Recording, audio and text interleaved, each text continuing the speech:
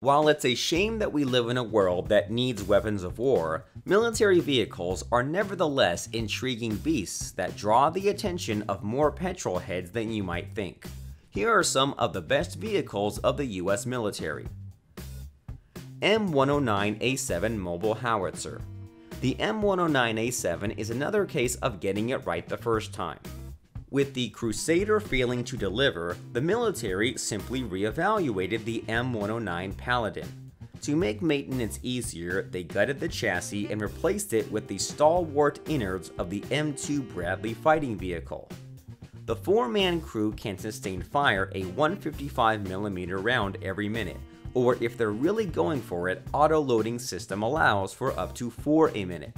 To stay safe, the A7 can stick and move, relocating quickly after firing to prevent retaliatory attacks. The newly configured vehicle is scheduled to come online this year. Stryker Combat Vehicle The best kinds of military vehicles are the ones that can be adapted to whatever the needs that arise. The Stryker does that in spades. It can be a recon truck, a troop transport, a weapons platform, essentially whatever you need it to be. In its potent troop transport configuration, it's able to move 9 soldiers forward in tight and rough situations while providing cover for those troops. The Stryker has even managed to withstand enemy tanks with its combined metal and ceramic armor and equipped anti-tank weaponry. It can be deployed out of C-130s, giving the military the ability to deploy and protect rapidly almost anywhere in the world. AAV-7 Amphibious Assault Vehicle. Where the EFV failed, the AAV-7 succeeds. Unlike the EVF, it can be launched far out from the shore and once there, keep going for hundreds of miles dispensing the troops inside from ship to shore to inland in one smooth motion while keeping them protected. Both a 25 and 50 caliber machine gun protect the occupants along with a grenade launcher. They manage a speed on land of 45 miles per hour. Over decades of use, they had set a high bar to cover for their replacement, which is part of what made the EFV such a massive disappointment. Cougar 6X6 The Cougar 6X6 is hard to damage. It has a V-shaped underbody to disperse explosives underneath. It has inches thick plating to withstand grenade attacks from the side. It mounts grenade launchers and machine guns to ward off any attackers. If all of that isn't sufficient to convince people to leave it alone, it also holds 10 combat soldiers inside to drive the point home. Even if one does manage to cause this giant beast harm, repairs can be handled quickly and the Cougar can be turned back around and put back to work in a matter of hours. In the occupation of Iraq and Afghanistan, the Cougar has rapidly become the backbone of troop and resource movements. This is the current MRAP, Mine Resistant Ambush Protected vehicle of choice for the US military. M2 Bradley Fighting Vehicle The Bradley Fighting Vehicle is such a stalwart it has survived not one project meant to replace it, but two, and it's still waiting on the fate of yet a third attempt to take over its role. In the meantime, the BAE made vehicle has managed to share components with other vehicles to help extend their life. The Bradley is another tool to carry, protect, and cover soldiers to the front line with the same speed and armored stance as the M1 tanks that it supports. The soldiers inside don't even have to exit the vehicle to start fighting, the tracked monster has mounted slots for M16s all along the side for them to fight behind the Bradley's considerable armor.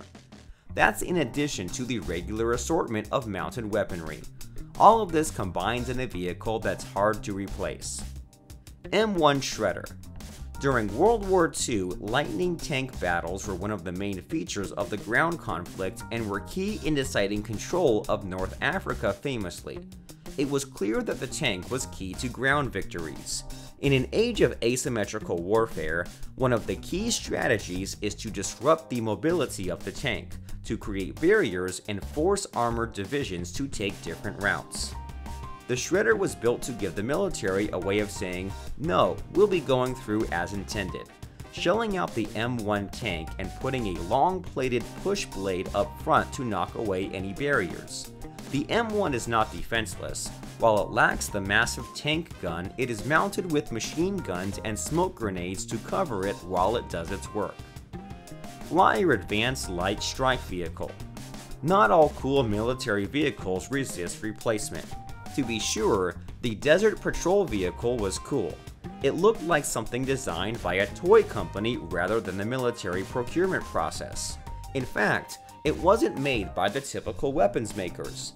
The chassis was designed by Chenowth Racing and was a sand rail dune buggy with an air-cooled VW engine and mounted weapons. It was effective enough to be the first thing that carried SEALs into liberated Kuwait.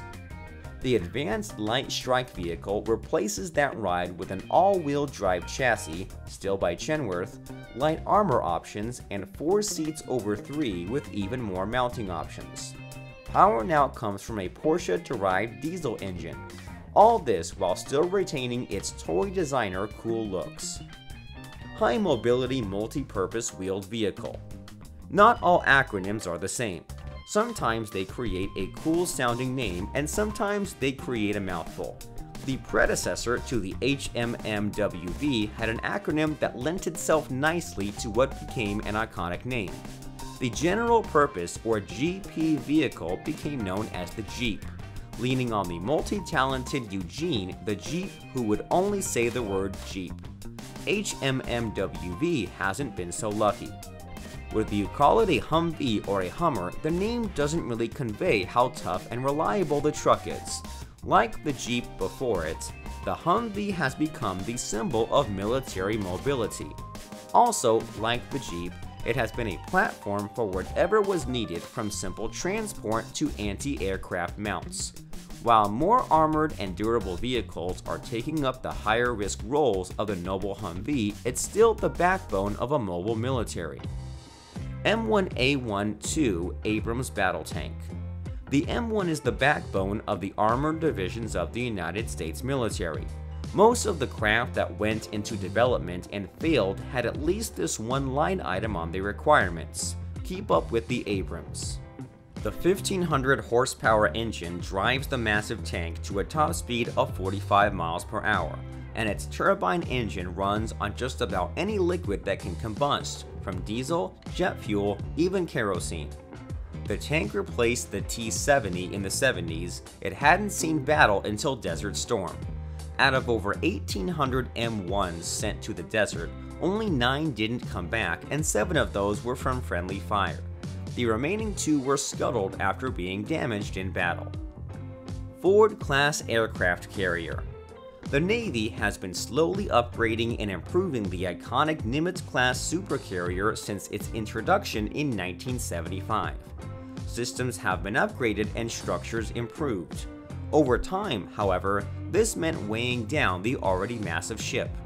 In order to place the modern innovations on the craft and provide the extra power that was needed, a new supercarrier had to be made. The Ford class has a better nuclear power engine at its core and enough automated systems and revised designs that it's able to carry roughly the same complement of armament with less crew. Just about all of the modern craft in use can launch from the ship around 120 a day under normal circumstances to 240 for surge purposes. Aircraft carriers have been the chief way to project power across the globe, and the Ford class is the most advanced way to do that.